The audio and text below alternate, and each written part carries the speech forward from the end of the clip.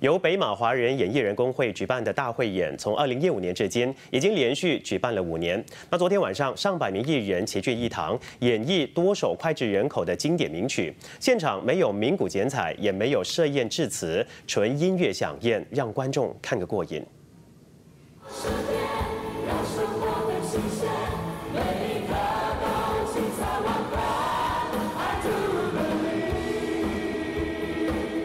嘹亮的歌声，亮丽的舞台，由北马华人演艺人工会举办，滨州政府首次主催的年度大会演，超过一百名艺人呈现八九零年代经典名曲，无论是动感轻快的，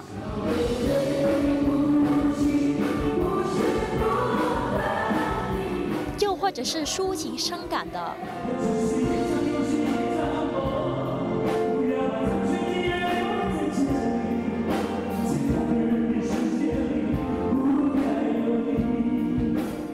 曲风都难不倒艺人，让观众听出耳油。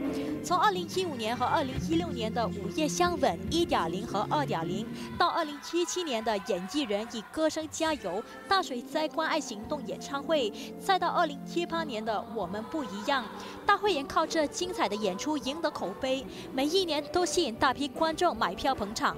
来到今年的莫忘初衷大会演，一千五百张门票在演出前的一个月就售罄，名副其时一票难求。要举办这么大型的一个演演唱会啊，不是这个简单的。尤其是我们用 live band 来呃让大家感受这个气氛。当我们用 live band 的时候，我们需要啊很多准备功夫。我们可以说在六个月前就开始啊做筹备功夫了。那么乐队呢？三四个月前就开始排练了。昨晚的这一场演出没有传统的致辞剪彩、鸣鼓击锣，也没有设宴款待，希望接着纯音乐响宴，让观众获得最佳的听觉和视觉享受。